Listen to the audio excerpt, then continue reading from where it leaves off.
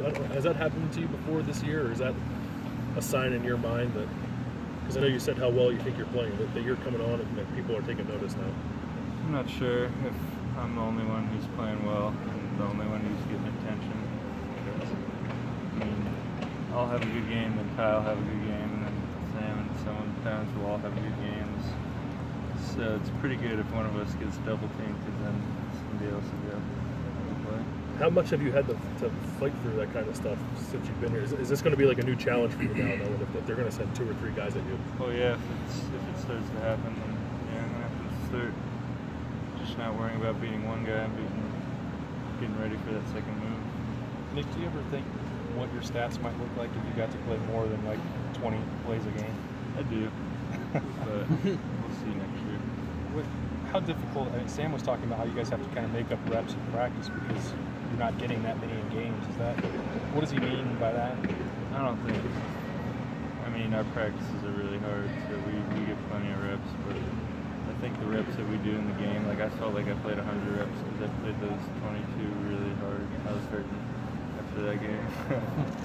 but uh, yeah, I mean, we we practice plenty, game seems a lot easier. How much is, of your production do you think is because you were able to put so much into 20 or 25 reps? And would would you not be able to keep up that pace if you had to play more of a load? I think I'm in pretty good shape where I could play like 40 plus full speed.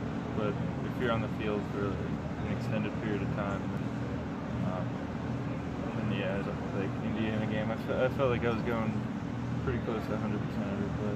We played, like, think I played like 50 or 60. Nebulous question, but where, where are you definitely from game one to now?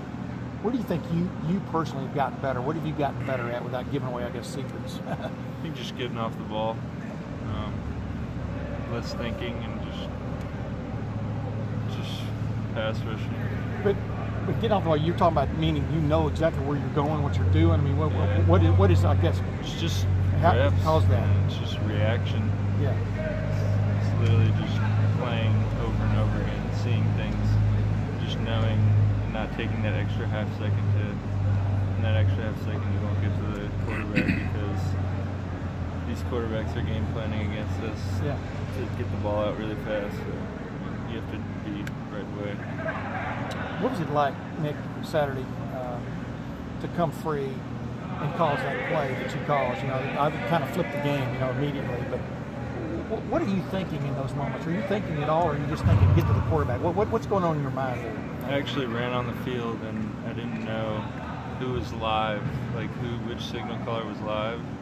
So, because it was my first play of the game and I hadn't heard anybody say it yet, so I didn't even know what the play was.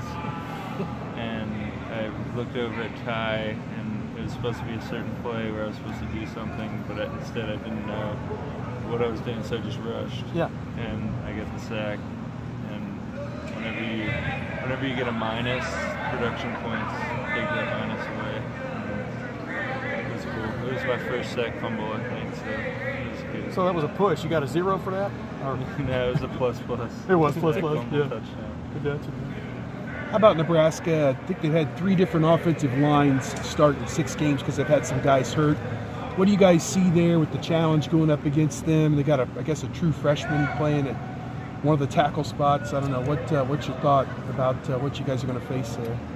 Uh, I think we'll be fine, whoever we play. I think we're good enough to handle any offensive line pretty well, but um, I just think it's going to be more the environment and the fact that they're at home and it's probably the biggest game of their season, so they'll probably give everything they have for that game. Hey, uh, I know that you and Joey are pretty close and talk a lot. Uh, do you have anything to say about your first uh, strip sack fumble? Nice sack. Said nice sack.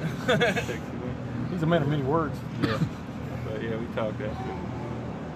I was pretty pumped about his strip too. Are you curious, uh, you know, to play at a place like Nebraska? I'm sure you've heard, you know, back in the day, it was one of the fabled places to play. And Yeah, I'm stuff. I mean, excited. Yeah. I love a good hostile environment. Uh, even though we lost, Penn State was pretty cool last year, and then Wisconsin was, Yeah. was really cool.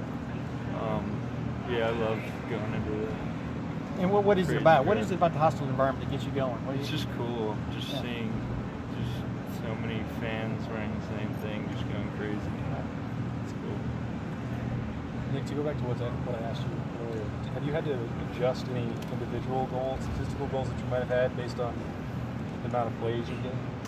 Yeah, I mean, I'm not gonna have 20 sack year like I obviously would want, but I'm happy for all my guys. And, um, I know that all Ty and Sam and Jay are all gonna get drafted and go do big things, so I'm excited for everyone. It seems like everyone in the room, you know, you guys knew that this was going to be how it worked and that the rotation was always fine with you. Was, it, is there ever a moment where you guys you know, don't embrace the fact that so many people are playing? No, we we've accepted it. Um, we we realize that the pro scouts see the plays that you do play, and they know if you're the real deal or not. So it doesn't matter if you're playing a thousand reps like some of these other teams are, just being dead, and running and fitting a tackle on a pass play. We're flying every single time, giving it everything we have. So it looks a lot better on film. Yeah, Coach Riley, I asked him about that today, about what he saw when he watched you play on, on video, and that's what he sees. I mean, he sees all that effort all the time. He sees it from all you guys. But is, is that playing the way y'all thought it would? You know, the, the fresh legs concept, the fresh attack concept. What was the question? Me, meaning, uh, uh, do you feel like y'all y'all are getting that constant pressure, like you wanted, rolling Yeah, guys yeah, in there? yeah. If you watch the first play of the game, or not the first play, the third play where, where I had the sack. Yeah. If you watch the other side, Jay, Jay and Sam are running a text, and Jay is running over the tackle, and Sam's flying inside. He tripped and almost got there too. And then Ty's thinking he's about to run a game with me, so he's kind of confused Yeah. because I was running the wrong thing. but yeah, it just looks really good with every single person just getting off the ball. It's super fast and winning.